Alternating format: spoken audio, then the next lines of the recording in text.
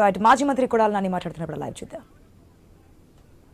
ప్రారంభించి రెండు సంవత్సరాల గవర్నమెంట్ చంద్రబాబు నాయుడు ఎవరికి ఇచ్చాడండి నవయోగ వాళ్ళకి రామోజీరావు ఇయ్యంగుడికి దారాదత్తం చేశాడు దాన్ని వెనక తీసుకుంటే కోర్టులకు వెళ్ళి చంద్రబాబు నాయుడు ఈ ఫోర్ ట్వంటీ గాడు దాన్ని మూడు సంవత్సరాలు కాలయాపం చేశాడు. కోర్టులో కేసు గెలిచి ఈరోజు ప్రభుత్వం కడుతుంది. ప్రభుత్వం షిప్యాడ్ కడతాంటే ప్రభుత్వంలో షిప్యాడ్ కడతాను కాబట్టి అది అవినీతి అని బందర్లో చెబుతాడు. నువ్వు రామోజీరావు ఇయ్యంగుడికి దొంగదాటుగా దొడ్డిదారిన ఐదు వేల ఐదు వందల ఎకరాలు ఇచ్చి అది కాంట్రాక్ట్ వాళ్ళకి ఇచ్చేసి పూర్తిగా వాళ్ళ సొంతం వాళ్ళే చేసుకుంటారంట జీవితకాలం. దాన్ని వెనక్కి తీసుకుని పదిహేను వందల ఎకరాల్లో పోర్ట్ ఆయన ఈయన నిర్మిస్తాంటే కోర్టులకి వెళ్ళి అడ్డం పడి మళ్ళీ సిగ్గు లేకుండా మాడుతున్నాడు అదేవిధంగా ఈ జిల్లాకి మెడికల్ కాలేజ్ ఇచ్చారు. ఈ జిల్లాని విడగొట్టి ఏడు అసెంబ్లీ నియోజకవర్గాలు ఈ పార్లమెంట్ ఒక జిల్లాని చేసి ఒక కలెక్టర్ని ఒక ఎస్పీని పెట్టి పరిపాలన ప్రజల దగ్గరికి తీసుకొచ్చినటువంటి ముఖ్యమంత్రి జగన్మోహన్ రెడ్డి గారు. గ్రామ సచివాలయాలు స్థాపించి ప్రతి గ్రామంలోనూ ఒక సచివాలయాన్ని పెట్టి పది మంది ఎంప్లాయీస్ని పెట్టి ప్రజలకి పాలన దగ్గరగా అందించినటువంటి వ్యక్తి జగన్మోహన్ రెడ్డి గారు. ఇవన్నీ డాక్టర్ బిఆర్ అంబేద్కర్ గారు చెప్పినాయి కాదా? అధికారం రాగానే గాలి వదిలేమని చెప్పాడు. ఆయన చంద్రబాబును వదిలేసినట్టు కాబట్టి జగ ఈ రాష్ట్రంలో రాత్రి మీటింగ్ మీరు అందరూ కూడా చూసే ఉంటారు. నేను పొద్దున రాత్రి పదింటికో పదింబాబుకి ఎవడో ఫ్రెండ్ పెట్టాడు. అది ఖాళీ కుర్చీలో నేను పడుకో హ్యాపీగా తడి కొట్టేసుకుని ఏం ప్రాబ్లం లేదని. నేను పదింబాబుకి నిద్రపోయి పొద్దున్నే లేచి చూసా.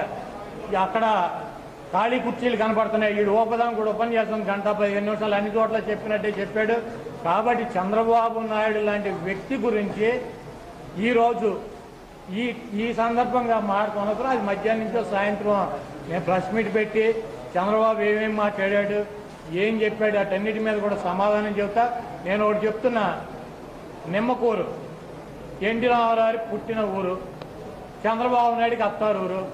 చంద్రబాబు నాయుడు పాడి ఎక్కడానికి రెడీగా ఉన్నాడు డెబ్బై ఐదు సంవత్సరాల వయసులో ఇప్పుడు వెళ్ళి రాత్రిపూట పడుకున్నాడు సిగ్గు లేకుండా చెబుతున్నాడు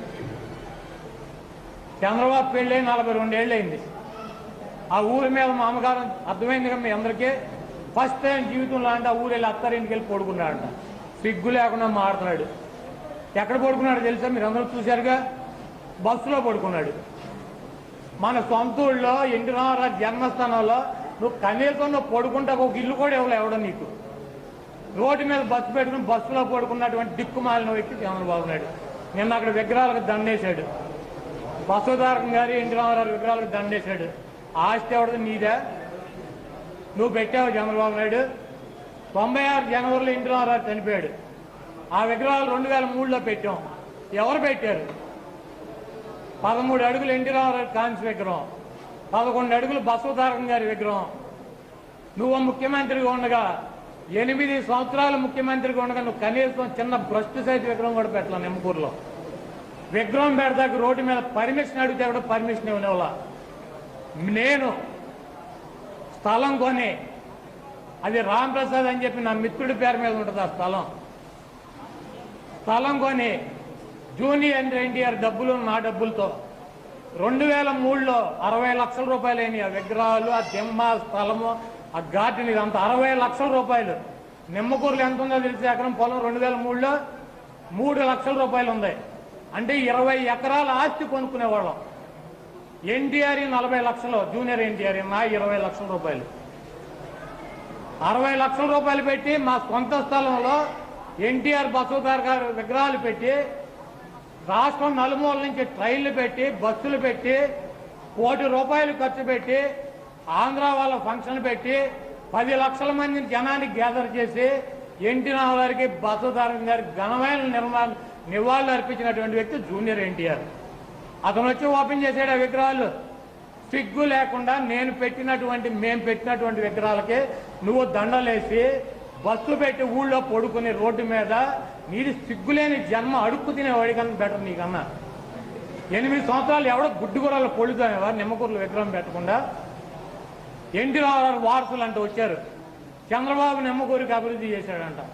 హరికృష్ణ గారు రాజ్యసభ సభ్యుడిగా ఉండగా పద్నాలుగు కోట్ల రూపాయలు ఖర్చు పెట్టి రాజ్యసభ నిధుల నుంచి ఆ- ఊరికి డెవలప్ చేశాడు.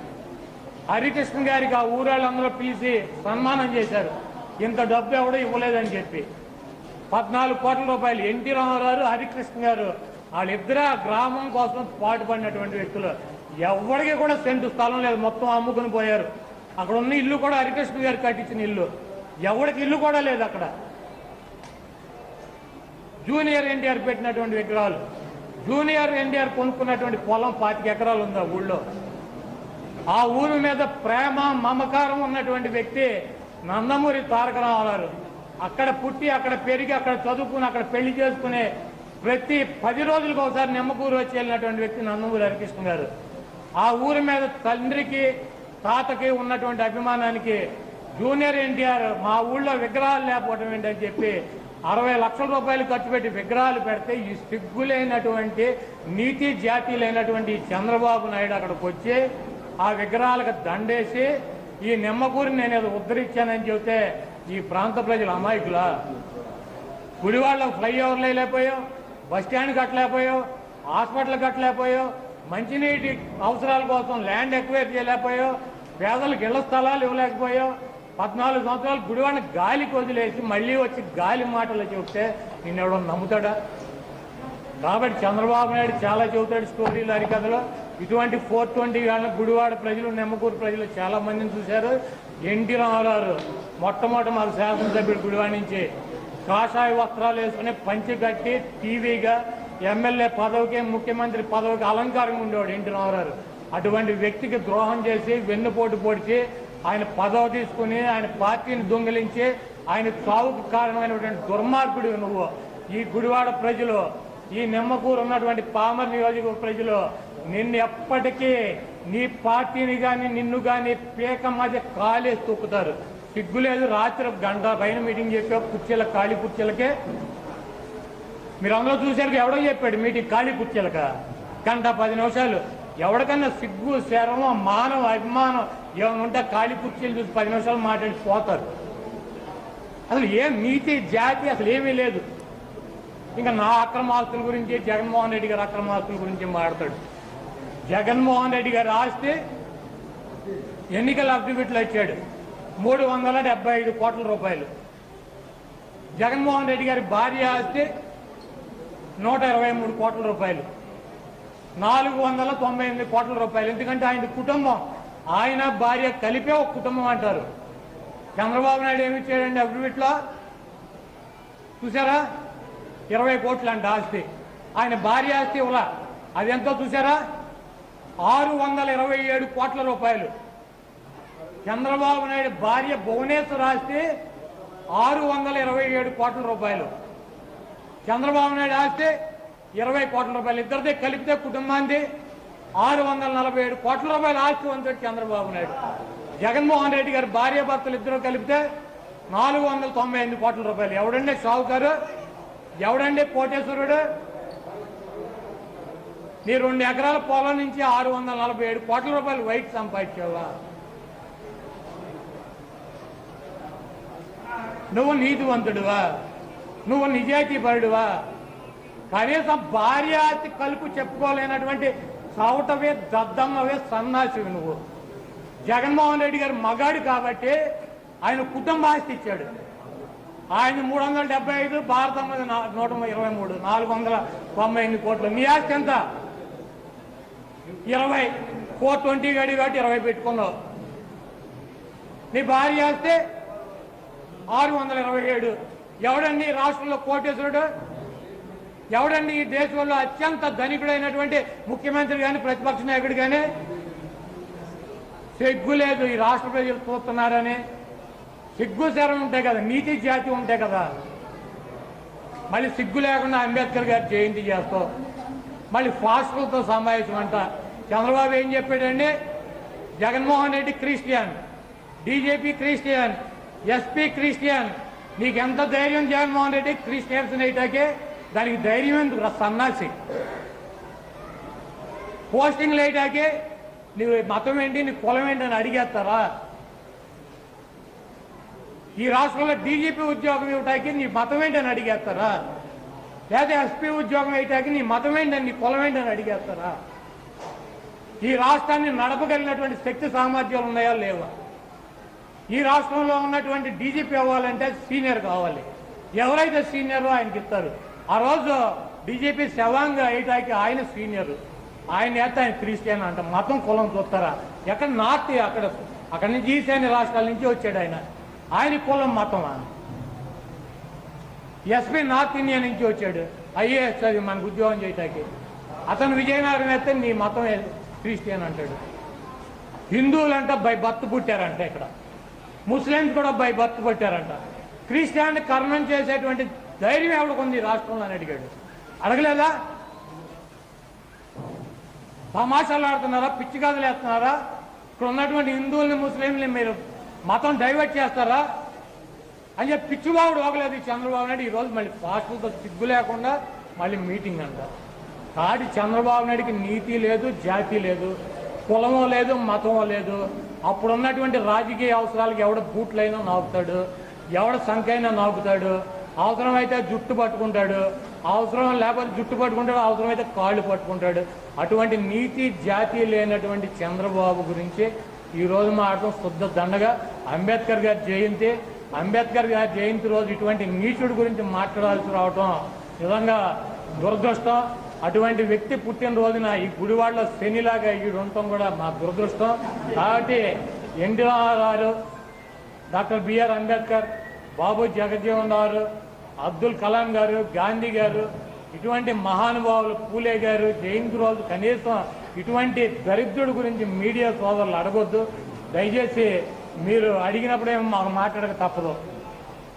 కనీసం ఆ రోజు ఆ రోజు గురించి అన్న ఆలోచన నేను సాయంత్రం ఆ కార్యక్రమం ఈ కార్యక్రమం అయిపోయిన సాయంత్రం వీడి గురించి మొత్తం విడదీసి చంద్రబాబు నాయుడు ఎంత నీచుడు ఎంత నికృష్టుడు చంద్రబాబు ఎంత ఫోర్ ట్వంటీ చంద్రబాబుకి ఇరవై మూడు సీట్లు ఈ రాష్ట్రంలోకి రావడానికి కారణం ఏంటి? ఈ రాష్ట్ర ప్రజలు ఎంత కాండించి ఉమ్మేసినా కూడా సిగ్గు లేకుండా తుడుచుకుని ఎట్ట వస్తాడు? మేకప్ కొట్టుకున్నట్టు చేస్తాడు తుడుచుకోగాని. ఉమ్మేయి కానీ ఎవడో కూడా ఇక్కడ మేకప్ వేస్తాడు మళ్ళీ బయలుదేరి పక్క ఊరు వెళ్ళిపోతాడు. ఆ ఊరు బయట ఆపుతాడు. చూశారుగా రాత్రి మేకప్ వేసుకుంటే మూడు చోట్ల బస్సు అయిపోయాడు గంట గంట. ఈ అందగాడికి మేకప్. ఆ మచ్చలు అవి కనపడకుండా ఒంటి మీద మచ్చలు కనపడితే ఇటు జీవితం కూడా ఇదే అనుకుంటారని ఇక్కడ మేకప్ పెడితే జనం మర్చిపోతారా? మూడు చోట్ల అయిపోయాడు బస్సు ఇక్కడ మూడు కిలోమీటర్లకు వెళ్తే ఎవరికైనా ఐదు గంటలు పడుతుందండి. వీడు బస్సు ఆపేసి కూర్చుంటాడు లోపల దూరతాడు మేకప్ వేసుకుంటాడు. గుడివాడ అంటే ఏంటి? అనేక మతాలు అనేక కులాలు సమ్మేళనం గుడివాడ. ఎవరిని పెట్టాడు బస్సు మీద ఐదు గంటల ఊరేగింపులో చూశారు మీరందరూ? ఎవరు? నలుగురు కమ్మారే ఫస్ట్ లైన్లో. చంద్రబాబు నాయుడు గారు ఇటు పక్కన రా వెంకటేశ్వరరావు ఆ పక్కన ఇంద్రరావు కొడుకు రామకృష్ణ బాబు వాళ్ళిద్దరి మధ్యలో ఇట్లా పెట్టాడు గూడు. ఎవడాడు? అమెరికా నుంచి వచ్చిన పిచ్చాడు ఒకడు. నలుగురు ఇదేనా కమ్మ సంఘం మీటింగ్? కమ్మ నలుగురు బస్సు మీద ఐదు గంటలు ఊరేగితే గుడివాడ ప్రజలందరూ ఇటు వెనకాల బ్రహ్మరాజం పడతాకి. చూసారా కొనగల నారాయణ గారు ఏమయ్యాడు? ఇక్కడ తంతే వెళ్ళి వెనకాల పడ్డాడు పాపం బస్సు వెనకాల కూర్చున్నాడు. ఆయన కూడా వస్తాడు ఆంబోతులా కట్టున్నాడు. నేనే రాష్ట్రానికి ప్రధాన పార్టీకి నేనే పెద్ద నాయకుడిని నేనే ప్రెసిడెంట్ అని గడ్జెట్ని గాడు ఆడేమయ్యాడు? లేడా? ఈ ఈ గుడివాడ కాన్స్టిట్యున్సీలో కానీ ఈ జిల్లాలో కానీ ఇంకా ఎవడో లేడా? చంద్రబాబు నాయుడు పక్కన నిలబడతాకి. కమసంగం మీటింగ్ ఇదన్నా చంద్రబాబు నాయుడు రాయ వెంకటేశ్వరరావు రాము ఆడేవాడు ఆ రామకృష్ణ బాబు నలుగురు కూర్చుని నలుగురు నిలబడి దిష్టిబొమ్మ లాగా రావటానికి దాని కమసంగం మీటింగా? ఈ గుడివాడ ప్రజలు చూడలేదా? అన్ని దొంగ మాటలు చదువుతాడు ఫోర్ ట్వంటీ మాటలు చదువుతాడని. అచ్చినాయుడు ఏమయ్యాడు? అది కొద్ది గట్టి చట్నీ పెట్టి ఒక టిఫిన్ పెట్టి తీసుకొస్తే నిలబడేవాడు నాలుగు గంటలు. కొనగల నారాయణ గారు ఏమయ్యాడు? శనగలు అన్నాడు. వెనకాల బస్సులో కూర్చుని వీళ్ళందరూ. మొన్న ఎమ్మెల్సీని గెలిపించానని చెబుతున్నాడు. చేనేత కార్మికులకు సంబంధించినటువంటి అనురాధ గారిని గెలిపించానన్నాడు. తను గెలిచిందిగా ఆవిడేమైంది ఆవిడని తోచారు బస్సు లోపలికి. ఎవరు ఏంది ఇది? రాష్ట్ర ప్రజలు చూడలేదా? ఈ గుడివాడ ప్రజలు చూడలేదా? ఇది ఏమైనా కమసంగం మీటింగా? తెలుగుదేశం పార్టీ మీటింగా? డాక్టర్ బిఆర్ అంబేద్కర్ గారు అంటే శృతిగా తీసుకుంటాడంట. పాస్టర్లతోనే మీటింగ్ పెడతాడంట. వీళ్ళ నలుగురిని మాత్రం పెట్టుకుంటాడు. అవకాశం అవసరం వస్తే పైన నిలబడేది మేము. మాకు పల్లకి మోయాల్సిందేమో మీరు. ఇవన్నీ గుడివాడ ప్రజలు గమనిస్తున్నారు. కుక్కగాటికి చొప్పు దెబ్బ అని చెప్పి మొన్న దవడపళ్ళు ఊడిపోయి తట్టుకుంటారు మళ్ళీ కొడతారు. చంద్రబాబు నాయుడు కుప్పంలోనే గెలవడు. లోకేష్ అనేవాడు మంగళగిరిలో గెలవడు. జగన్మోహన్ రెడ్డి గారి ప్రభంజనం ముందు ఈ తెలుగుదేశం పార్టీ కానీ జనసేన కానీ ఏవి నిలవో మీరు రెండు వేల తొమ్మిదిలో గుర్తుపెట్టుకోండి. మహాకూటమని అని పెట్టాడు. కేసీఆర్ని కలుపుకున్నాడు అక్కడ తెలంగాణలో. సిపిఐ సిపిఎం అని కలుపుకున్నాడు. రాజశేఖర రెడ్డి గారు దమ్ముగా ధైర్యంగా నా పరిపాలన చూసి ఓటేయనని వచ్చాడు. మళ్ళీ జగన్మోహన్ రెడ్డి గారు నా పరిపాలన నచ్చితేనే ఓటేయమని వస్తున్నాడు. మళ్ళీ వీడు మహాకూటమి అని పెడుతున్నాడు. జనసేన కలుపుకుంటాడో కమ్యూనిస్టుని కలుపుకుంటాడో కాంగ్రెస్ని కలుపుకుంటాడో నెక్స్ట్ అందరిని కలుపుకురా. రెండు వేల తొమ్మిదిలో రిపీట్ చరిత్ర రిపీట్ అవుద్ది. రాజశేఖర రెడ్డి గారు నిన్న గోగ పగల కొట్టి వదిలాడు. జగన్మోహన్ రెడ్డి గారు నీ అంతు చూస్తాడు ఇదే నీకు చివరి ఎన్నికలు చేస్తాడు. సింగల్గా సింహాలు వస్తాయి. ఆ రోజు రాజశేఖర రెడ్డి గారు వచ్చాడు ఇప్పుడు జగన్మోహన్ రెడ్డి గారు వస్తున్నాడు. నువ్వు మహాకూటమి అని పెట్టుకొని రా. తెలంగాణలో ఏమైందండి? తెల టీఆర్ఎస్ రెండు వేల తొమ్మిదిలో మహాకూటమి అని పెడితే రెండు వేల నాలుగులో ఇరవై ఆరు సీట్లు గెలిచినాయి కేసీఆర్ గారికి. ఆయన పెట్టే ట్రాప్లో పవన్ కళ్యాణ్ పెట్టినట్టు. ఆయన నిజమే అనుకుని చేరాడు. ఆయనకి పది సీట్లకు వచ్చాడు. ఇప్పుడు పవన్ కళ్యాణ్ పెట్టే ట్రాప్లో కనీసం ఆయన పోటీ చేస్తే సింగల్గా ఒకటన్నా గెలిచాడు రాజులు. మొత్తం ఎగిరిపోతాడు. ఇరవై ఆరు గెలిచినాడు పది కొత్త ఒకటి గెలిచినాడు ఎన్ని కొత్తాడు? కాబట్టి ఈ ఫోర్ ట్వంటీ మాటల్లో చంద్రబాబు నాయుడు బతుకు ఈ కమ్మ సంఘం మీటింగు ఇవన్నీ గుడివాడ ప్రజలు చూశారు? ఈ గుడివాడ ప్రజలు కాదు రాష్ట్ర ప్రజలు చూశారు. నిన్న ఏం మీటింగు? నలుగురు వ్యక్తులు ఎదర? నలుగురే వ్యక్తులు.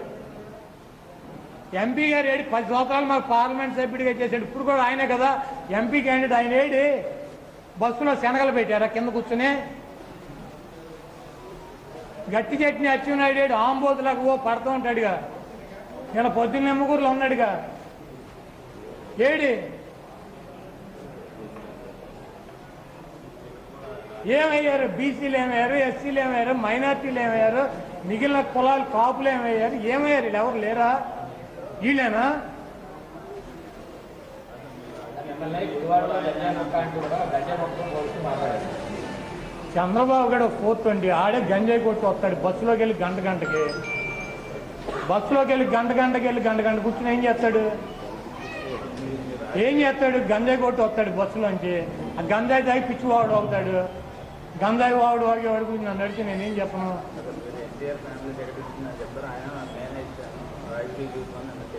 సరే నాకు చంద్రబాబు ఇచ్చాడు ఎన్టీఆర్కి ఎవడిచ్చాడు ఈయనకి ఎవడిచ్చాడు చంద్రబాబు నాయుడికి? నాకు చంద్రబాబు నాయుడు రాజకీయ జీవితాన్ని ఇచ్చాడని చెబుతున్నాడు. చంద్రబాబు నాయుడికి ఎవడిచ్చాడు ఇందిరాగాంధీనా ఆవిడకి ఏం చేశాడు? బాగా దించాడా డెబ్బై ఎనిమిదిలో మంత్రి ఇచ్చాడు మంత్రి కూడా ఇచ్చింది ఎమ్మెల్యే కాకుండా రాజకీయ జీవితం ఇచ్చి మంత్రి బాధ కూడా ఇచ్చింది. ఏం చేశాడు? ఎన్టీ మీద పోటీ చేస్తాను ప్రగల్భాలు పలికాడు ఈ సొల్లుగాడు. అమ్మ ఆదేశిస్తే ఇందిరమ్మ ఆదేశిస్తే వద్దులేరా బాబు నీ కాంక్షలు నువ్వు సావరంటే అక్కడ ఓడిపోయాడు. ఆవిడ దించాడు కదా రాడ్డు. తర్వాత ఎన్టీ దగ్గరికి వెళ్ళి భార్యను తీసుకెళ్ళి కాలు పెట్టుకున్నాడు. ఆయన రెండో జీవితం ఆయనకి పెట్టింది వైస్ హోటల్ ఆయన ఏం చేశాడు? ఈ ఫోర్ ట్వంటీ గాడు నాకు జీవితాన్ని ఇచ్చానని చెబుతాడు. వీడికి ఇందిరాగాంధీ ఎన్టీ రామారావు వెళ్తే ఏం చేశాడు? అది అడగండి తమ్ముడు నన్ను అడుగుతారేంటి? అరే బాబు ఇట్లా అడుగుతున్నాడు నువ్వు నేను రాజకీయ జీవితాన్ని ఇచ్చాను నీకు వాళ్ళిద్దరు ఇచ్చారు కదా వాళ్ళిద్దరిని ఏం చేసావు? అని అడుగుతున్నాడు. దీనికి సమాధానం చెప్పరా బాబు నువ్వు పెద్ద ఫోర్ ట్వంటీ గాడు లాకున్నావు నువ్వు అడిగి నిజాన్ని మేము వెళ్తాం మమ్మల్ని అడుగుతున్నారు మేము చెప్పలేకపోతున్నాం అడగండి నిలుస్తారు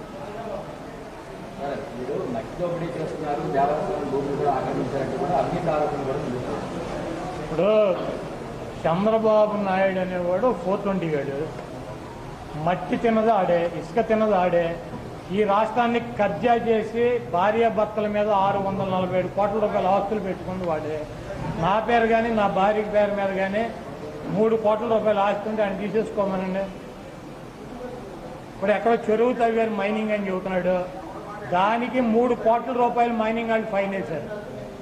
తొమ్మిది ఎకరాల్లో చెరువు తవ్వి మట్టి అమ్మారని చెప్తే మా గవర్నమెంట్లో ఆరు నెలల నాడు నేను మైనింగ్ వాళ్ళని పిలిచి ఇన్స్పెక్షన్ చేయమంటే మూడు కోట్ల రూపాయలు మైనింగ్ మీద ఫైన్ వేసాం. మూడు కోట్ల రూపాయలు. డెబ్బై ఎనిమిది వాళ్ళు పొలం కొనుక్కున్నారు తొమ్మిది ఎకరాలు. వాళ్ళు బుడమేరికి ల్యాండ్ ఎక్విజేషన్కి ఇస్తే ఎక్కడున్నారు వాళ్ళకి డబ్బులు కూడా ఇచ్చింది గవర్నమెంట్ ఎవరు గవర్నమెంట్ చంద్రబాబు నాయుడు గవర్నమెంట్ మరి ఎందుకు ఇచ్చాడండి? అతను ల్యాండ్ కాదు ఇటు ఎందుకు ఇచ్చాడు అతనికి? ల్యాండ్ చేసిన డబ్బులు ఇచ్చాడు. అతను చెరువు తవ్వుకున్నాడు. దాంట్లో అక్రమ మైనింగ్ జరిగిందంటే విజిలెన్స్ వాళ్ళని పంపిస్తే మైనింగ్